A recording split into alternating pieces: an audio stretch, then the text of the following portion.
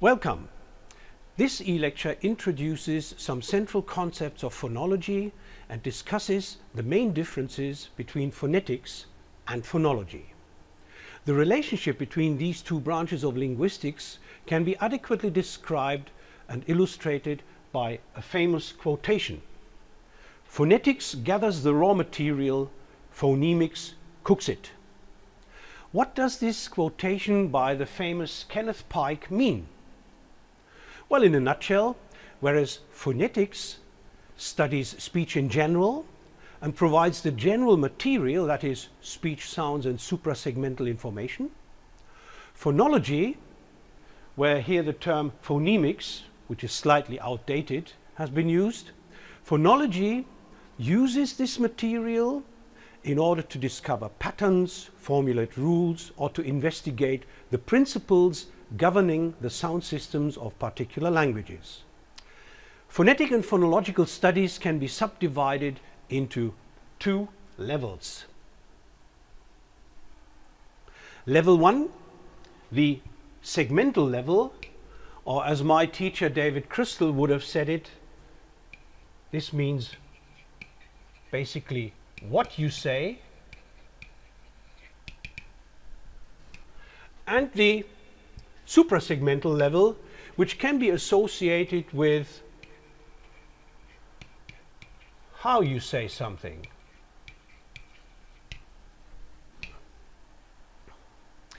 Let us illustrate the difference between phonetics and phonology and start with the segmental level. Speech sounds are the product of human anatomy and physiology. One goal of segmental phonetics is to define the articulatory properties of all human speech sounds. For example, a phonetician discusses the articulation of a voiceless dental fricative, to pick just one example. Then a phonologist who studies the sound systems of particular languages or the sound inventories of particular languages would ask what is the function of this sound, this voiceless dental fricative in languages such as Igbo, German or English? You all know the answer, don't you? A voiceless dental fricative is clearly part of the English sound inventory but it is not used in German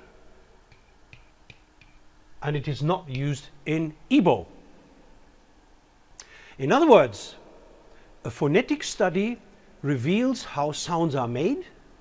Phonology works out how these sounds are used in particular languages in order to convey meaning. Let us elaborate this difference between phonetics and phonology on the basis of German, my mother tongue, and English. Part of a phonetic study of German, for example, will include a statement that this sound here, which is listed here, a voiceless palatal fricative occurs in German, but not in English. So here is an example, first of all, to show the articulation. Ah, ja. Again, Ah, ja. Okay, so this exists in German, but it is not really found in English. Likewise, a phonetic study of both languages will include a statement that these sounds, t, ts, and s, occur both in English and in German. So much for the phonetic analysis. However, the main phonological question is whether the sounds in question are functional sound units, that is, units that affect the meaning of words in that language or not. A phonetic study then provides an inventory and a description of the occurring segments. Phonology discusses the function of these segments in particular languages. In the case of our first example, the palatal fricative ch, the answer is pretty clear. It exists in both languages. In German, it occurs in contexts where a front vowel precedes words such as ich, Pech, möchte, Küche, or at the beginning of words such as China or Chemie. A phonologist would also say it is in complementary distribution with the velar fricative ch, which only occurs after back vowels, as in Buch, Doch or Dach. In English, however, it is, if it is used at all, highly restricted to contexts where a written H precedes. It is the same palatal fricative as in human, huge or humid. Phonologically, however, it is mostly analyzed as a combination of a glottal fricative plus a palatal approximant. Since languages may have the same inventory but different realizations of these sound segments, a mere segmental phonological study that states which segments occur in a language and which ones do not is only superficial. Consider our second example, the status of z in English and German. Well, we have two options. It could be one sound unit or two. Whereas German lists z as one segment, English does not. Why? Well, here is the answer. The German example is, in this case, Salz. And in English, we're using the example salts, the plural form of this word, the plural form of salt. Both German Salz, which means salt, and English salts involve the same final segment z. However, a structural analysis reveals that native speakers of English identify two consonants, whereas in German this is clearly one consonant. Where in German you have one letter and in English you have two, maybe orthography influences their decision. Furthermore, and this is more important, z has only a limited distribution in English. It normally crosses morpheme boundaries as in what's which stands for what is, states which stands for state plus plural, or kit which stands for kit plus plural, state by the way could also be a verb, state plus third person singular. So in each case we have a morpheme boundary between the base form and the affix -se.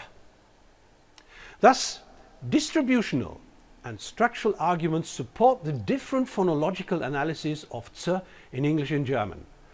One unit in German, two units in English.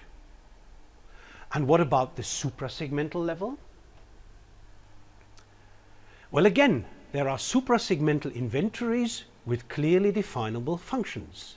The structures and phenomena beyond the segments are, among others, tonal phenomena, where, for example, in the so-called tone languages such as Chinese, tonal patterns express lexical distinctions or have a morphological role, expressing such features as tense or aspect. And then there are stress phenomena, where, for example, in words of more than one syllable, at least one syllable has more prominence and can thus influence the meaning of that word. These suprasegmental aspects are often discussed under the heading of metrical phonology. Again, let us look at these aspects first from a phonetic angle and then from a phonological one. Supra-segmental phonetics investigates aspects such as loudness, pitch or length. Take pitch as an example. In English, pitch is changing continuously. There are no steady state pitches. Here are some examples, which I'm going to discuss in a second. As we will see, throughout every syllable in a normal conversational utterance, the pitch is going up and down. As most languages, English uses the whole range of pitch variation. Let's listen to these examples first. Mary gave the money to her father. I sat by the window reading a book. He wanted to go to town on Monday.